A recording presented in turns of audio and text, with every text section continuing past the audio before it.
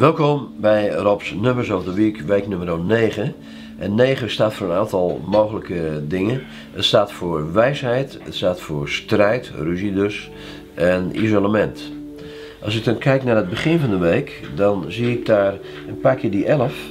En die 11 staat voor regeltjes, staat voor discussie, staat voor te veel actie. En eh, er zitten uitdagingen in. Er zit die 7 bij die 2. Dat wil zeggen, je wordt uitgedaagd op je gevoel door al die regeltjes. Er zitten heel veel negens in. En uh, die negens die staan ook voor uh, jouw wijsheid. Maar het is te veel wijsheid. Uh, omdat de wijsheid is moeilijk een plek te geven. Dus het, het, is een wijsheid die blijft zweven. Wat je ook af kan vragen in het begin van de week. het gaat hier om houden van. 4 zessen, daar nog 6 zessen, 10 zessen. Je kan je afvragen, is die relatie werkelijk zo goed die je hebt? Of is het echt nodig om eens uh, bij te gaan praten met die partner? Van, uh, moeten we niet eens wat op een andere manier met elkaar omgaan? Want dit, dit is niet goed, die dubbele zes is niet goed. dat leidt tot narigheid. Dat je lichamelijk of geestelijk mishandeld wordt. Nou, oké, er zijn misschien mensen die het willen, maar de meesten niet. Dus ik denk dat het nodig is om te kiezen voor de 10 situatie om je relatie te updaten. Of, uh, uh, nou, maak er gewoon een eind aan. Kijk maar. Nou, het midden van de week. Wat, wat me in het midden van de week opvalt, is uh, er zit nogal wat dominantie in.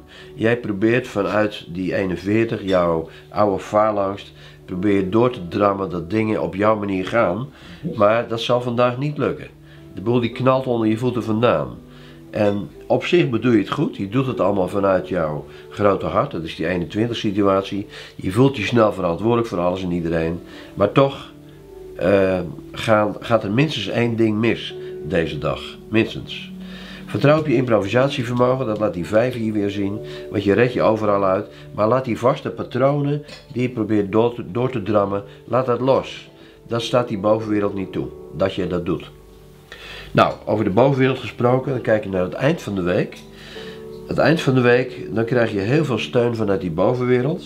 Dat heb je kennelijk nodig, omdat hier zit wat narigheid. Die 4 naast die 3, dat betekent hier wordt jouw te grote dienstverlening uh, afgestraft, zou kunnen zeggen. Doordat je goed bedoelde, ongevraagde hulp uitgelegd gaat worden als bemoeizucht. Nou, jij zal het nooit vanuit bemoeizucht doen. Je doet het altijd vanuit je grote hart. Maar je zoekt waardering bij mensen die het jou niet kunnen geven. En daarom is 7 de uitdaging 4 grenzen te stellen aan al die drieën. Je hebt heel veel drieën hier in dit verhaal. Dienstverlening te groot. Steun van de bovenwereld, dat is de dubbele 3. Ik wil je bedanken voor het kijken en graag tot de volgende week. Dankjewel. Dag. Welkom bij Rob's Lunnemank uitlegging, week nummer 9 kaartje ga ik uitschudden voor wat het thema is van week nummer 9. Daar is die. Week nummer 9, de vrouw. Het gaat om vrouwen of het gaat om je gevoelskant, want dat wordt ook weergegeven door de vrouwen. Dus